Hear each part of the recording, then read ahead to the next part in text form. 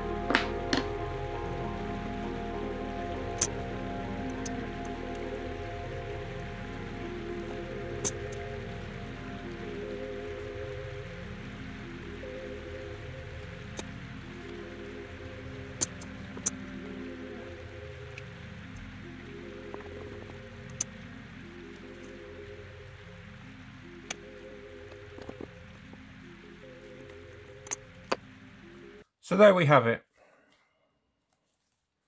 It's been edged. You can see the lines where the pockets are. So if you're making this, you should thin it a bit further than I did.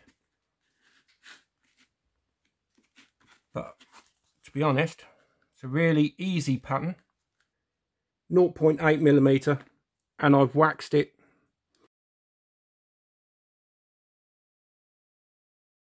I've tried if you look to, to try and get them parallel the stitching. But it's not as easy as it looks. But that's double stitched so that's nice and reinforced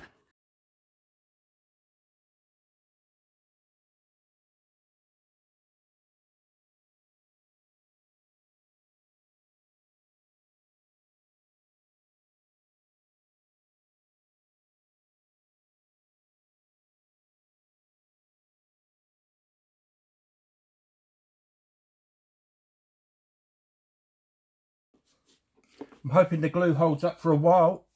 Otherwise, you'd have like stitches on this side. So if I was to make this again, I'd put this on the inside. I'd have another piece of leather basically. So you had a place to put either banknotes or receipts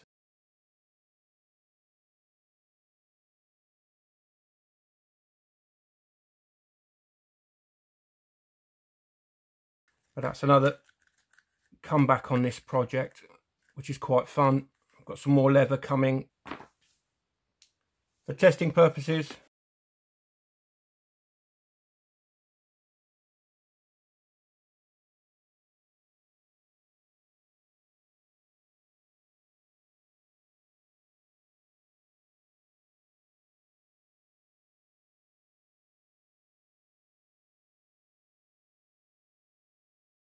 The leather is from Metropolitan Leather in Thrapston, UK.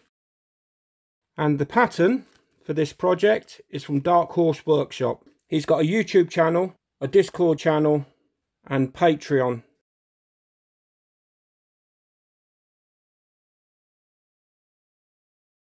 The pattern from Dark Horse Workshop, the feedback I'm going to give is you've got to be very careful on how low down you glue in that seam.